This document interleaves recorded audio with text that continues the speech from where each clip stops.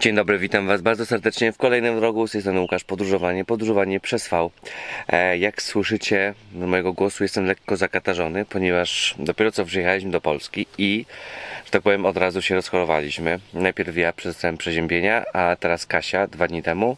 Ale nie będzie o przeziębieniu, ponieważ pojedziemy w jedno bardzo ładne miejsce. Pojedziemy e, mieszkać w tiny house. E, a dlaczego jedziemy do tiny house'u, to Wam powiem już na miejscu. A teraz patrzę się, że Kasia przyszła. Cześć Kasia, jak się czujesz? Bonjour. No, bywało lepiej, mogło być gorzej. Mm, podziwiam Cię, że Ty to tak znosisz łatwo, to przeziębienie. No, ktoś twarda. musi żyć. Dobra, żeby zróbmy wywołać, i jedźmy. Um, że tu po prostu pozmywam najpierw, a potem coś ugotujemy.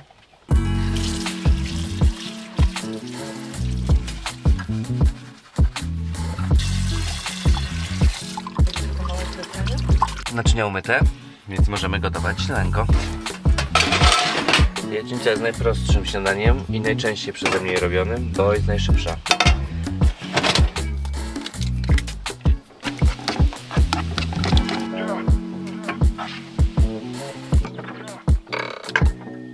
Śniadanko zjedzone, teraz czas na kawusie. Eee, kawusie, wróciłem do kawusi porannej po jakimś kilkutygodniowej przerwie z uwagi na to moje mrugające oko. Cały czas się suplementuję magnezem, cynkiem i jem pomidory, więc to po prostu to wraca to do normy. Wiem, że jeszcze muszę przez miesiąc czy ileś tam zażywać to, żeby po prostu się uzupełniły te braki. Także bardzo serdecznie dziękuję osobom, które napisały mi i zatroszczyły się o mnie e, kilka tygodni temu, jak powiedziałem, że właśnie mam to mrugające oko. Bardzo dziękuję. Wszystkie komentarze przeczytałem. No i tak jak mówię, zastosowałem się do Waszych porad. E, A my teraz jedziemy, zaraz po kawce, jedziemy do Bolimowskiego Parku Krajobrazowego, który jest usytuowany pomiędzy Warszawą a Łodzią, więcej na połowie. To jest przy tej trasie S8. E, I Będziemy tam mieszkać. Będziemy mieszkać w lesie, w takim malutkim, tajnym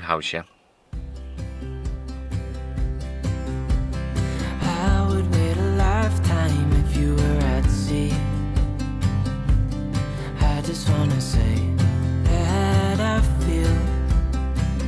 Miejsce docelowe jest po prawej stronie. Wow! Dostaliśmy SMS-em kod do bramy i kod do wejścia jest takie mm, samodzielne zakwaterowanie.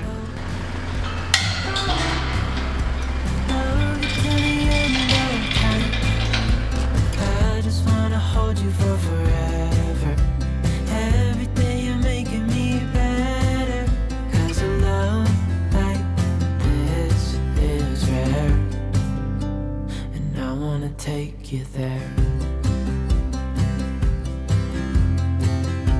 drodzy, będziemy spać dzisiaj w takim malutkim domku i jestem w szoku, bo jest strasznie mały. Widzimy, że to jest tiny house, ale nigdy jeszcze nie miałem okazji być w środku w tiny house tak naprawdę. Eee, ciekawe, ciekawa sprawa.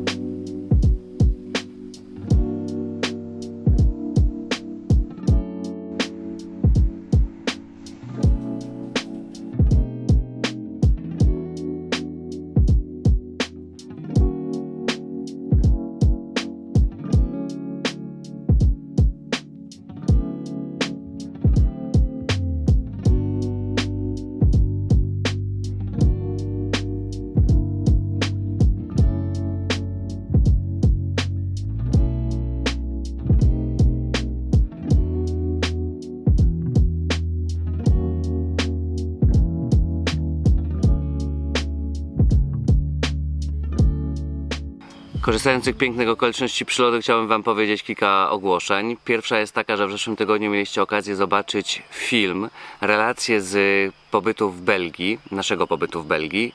E, I Belgia tym samym jest ostatnim krajem na naszej liście marzeń, na liście, która powstała w 2017 roku, kiedy planowaliśmy van life. Zrobiliśmy sobie taką mapę, gdzie chcielibyśmy pojechać. No i miało to nam zająć jeden rok, zajęło nam 4 lata, jak wiecie.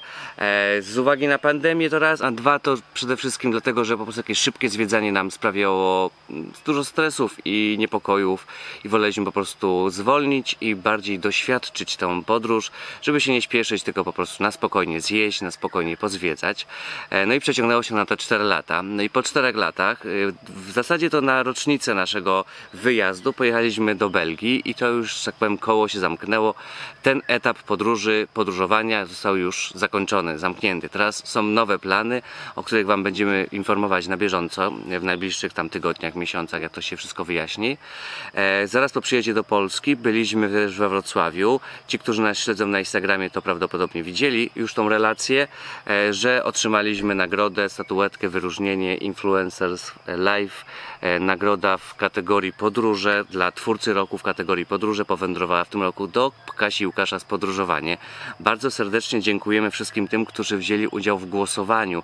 Jestem bardzo wdzięczny w imieniu swoim i Kasi. Serdecznie dziękuję wszystkim, którzy się przyczynili do tego, że otrzymaliśmy tą statuetkę. No bez Was by to się na pewno nie udało. W ogóle w tym roku w tym konkursie Von Lifersi przodowali. Tam było jeszcze cztery inne ekipy poza nami e, w pierwszej dziesiątce w ogóle wszystkich podróżników polskich, więc naprawdę no, jest to bardzo dobra, bardzo dobra informacja, że Van Life się rozrasta, Van Life Polska działa i że po prostu jest nas coraz więcej. E, bardzo, bardzo serdecznie dziękuję, bardzo się cieszę i gratuluję też wszystkim innym, którzy byli nominowani w tym konkursie.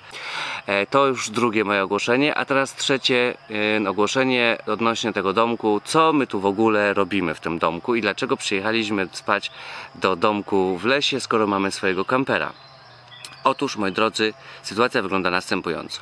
Kilka odcinków temu mówiliśmy Wam o tym, że chcemy y, kupić sobie jakiś dom albo kupić jakąś działkę, na której budujemy malutki domek, albo kupimy jakąś ruinę, którą wyremontujemy. No w każdym razie chcielibyśmy mieć takie miejsce, jakiś taki kąt, w którym moglibyśmy odkładać nasze pamiątki i do którego moglibyśmy wracać, kiedy zakończymy jakiś etap podróży. I padło oczywiście na Portugalię z uwagi na to, że w Portugalii najbardziej odpowiada nam klimat, ludzie, y, smaki, no pogoda, wszystko nam po prostu w Portugalii pasuje, więc no wiecie, że my kochamy Portugalię.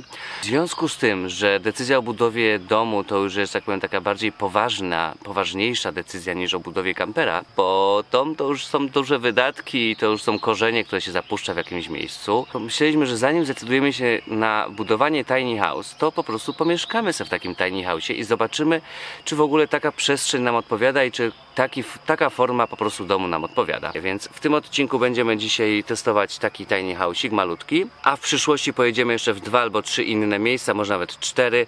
E, przez wakacje, jak nam się tylko uda, to będziemy testować taką formę wypoczynku. A miejsce to znaleźliśmy na stronie Aloha Camp. Aloha Camp to jest strona internetowa, która łączy ludzi, którzy chcą wynająć jakiś nietypowy nocleg z właścicielami takich nietypowych obiektów, jak na przykład ten tiny house za mną.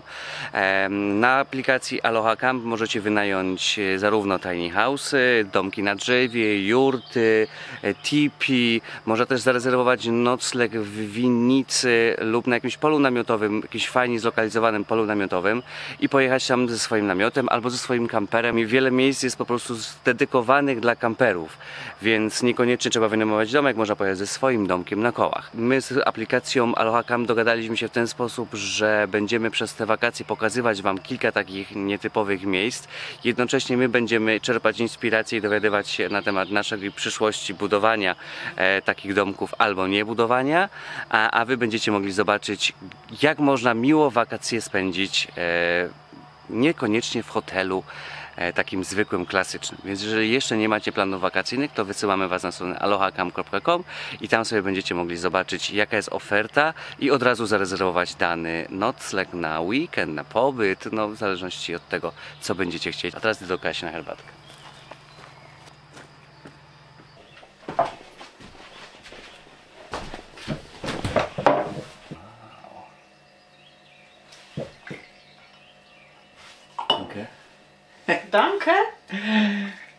Białorusi, w Niemczech.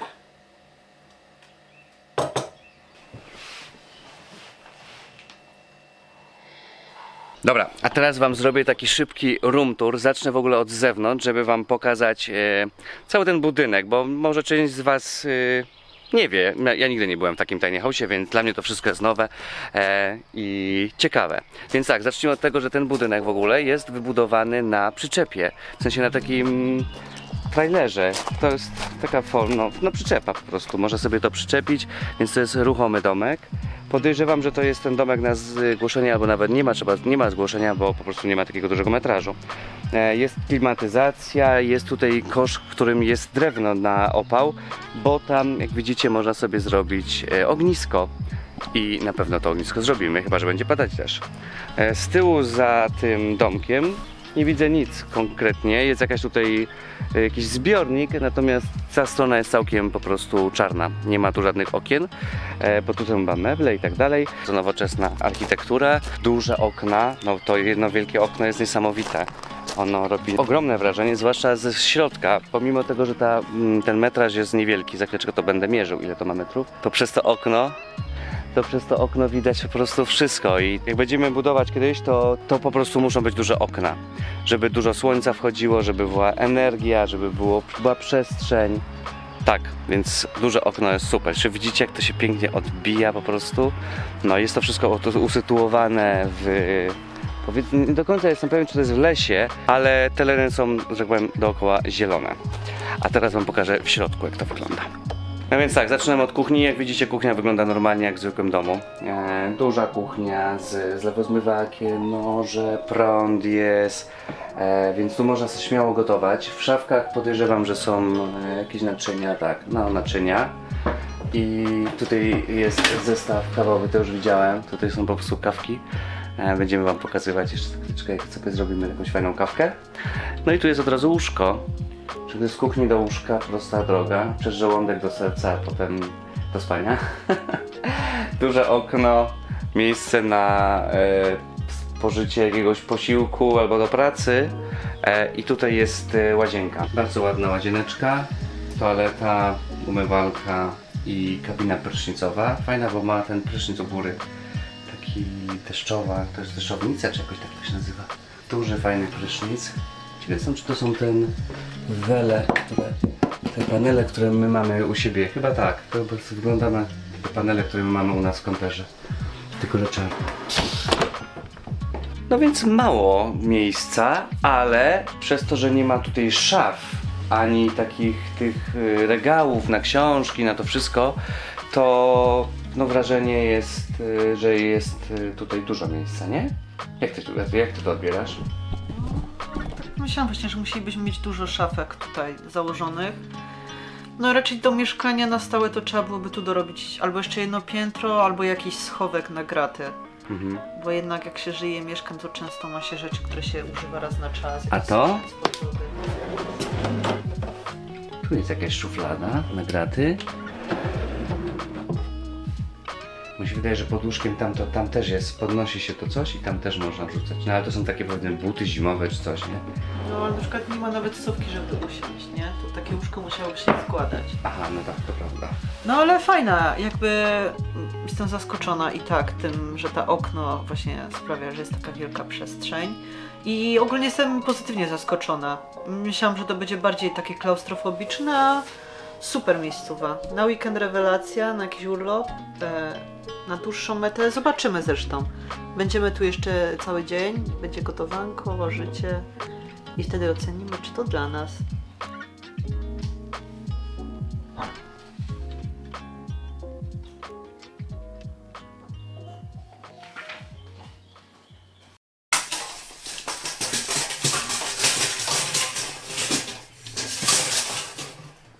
Cztery i pół, półtora, sześć metrów.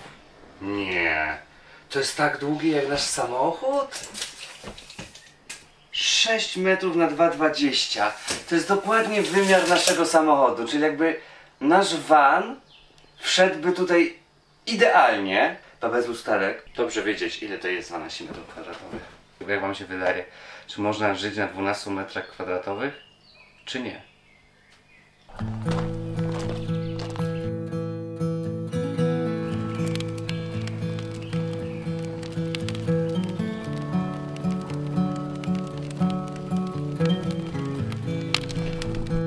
Zapada zmrok, więc przyszedł czas, żebyśmy rozpalili ognisko. Kasia nam tutaj rozpaliła ładnie ognisko. Za chwileczkę będą kiełbaski, a my siedzimy w kurtkach, bo jest chłodno. Ale na szczęście przy ogniu się już robi cieplej, więc możliwe, że będziemy mogli je zdjąć.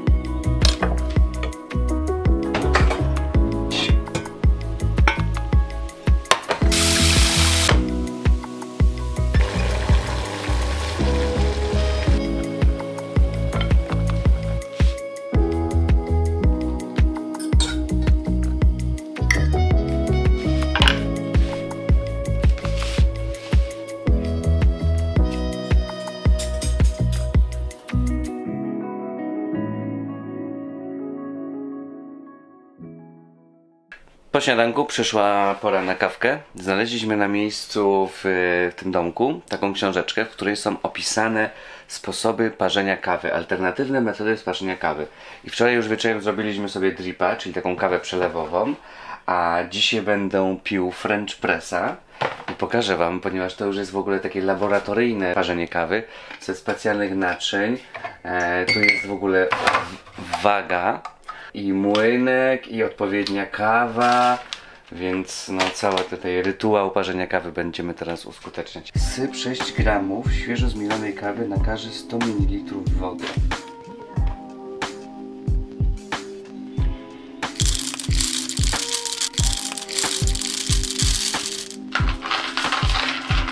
A teraz przyszedł czas na to, żeby ogrzać e, to naczynie. W życiu czegoś takiego nie robiłem, nie wiedziałem nawet czy trzeba, ale tak tu jest zapisane, żeby zalać 1 czwarta dzbanka, zamknąć pokrywę, potrząsnąć urządzeniem przez chwilę, żeby się zagrzało to, to naczynie i te wszystkie elementy. Teraz ważymy. 6 gramów na 100 ml.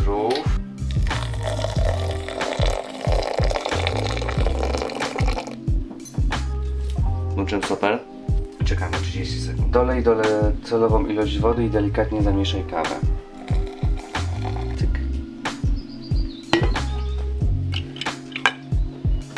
Teraz poczekać 4 minuty od pierwszego zalania, powolnym ruchem opuścić na dół. Dobra, to czekamy. Mamy 4 minuty.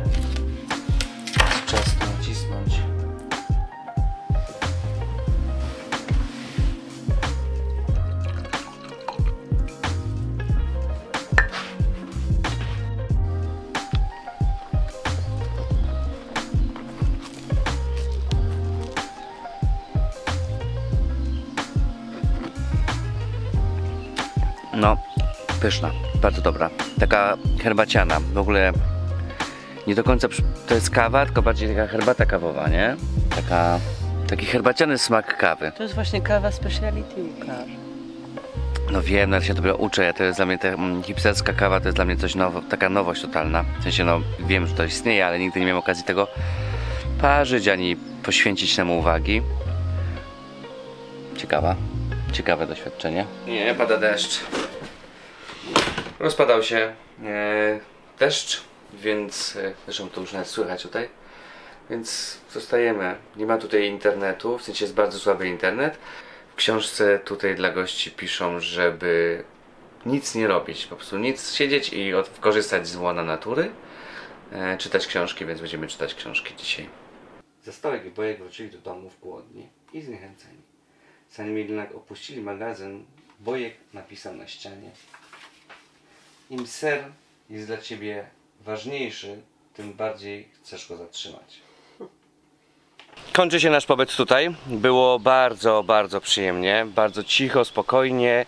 E, No tylko słychać było śpiew ptaków, no i raz na jakiś czas jakiś pan gdzieś tam w oddali ktoś kosił trawę. Tomek bardzo nam się spodobał. Ja jestem, powiem Wam szczerze, bardzo zaskoczona, bo myślałam, że jeśli będę gdzieś w stałym miejscu, w sensie nie w pojeździe, no to myślałam, że będę potrzebować więcej tej przestrzeni. A tu się okazuje, że ta przestrzeń jest w zupełności wystarczająca. Dużym plusem jest to, że to jest w naturze, w lesie, więc jakby tej przestrzeni się do życia zyskuje, bo korzysta się właśnie z tego e, lasu, ogrodu tutaj. Myślę, że mogłabym mieszkać w takim domku. Jestem jakby pozytywnie tym zaskoczona, że przez rok czasu spokojnie sobie wyobrażam pomieszkać w takiej przestrzeni. Na pewno trzeba byłoby dodać trochę schowków, regałów. E, A po jakimś czasie pomyślałabym o jakiejś rozbudowie albo może dodatkowym domku na pracownię.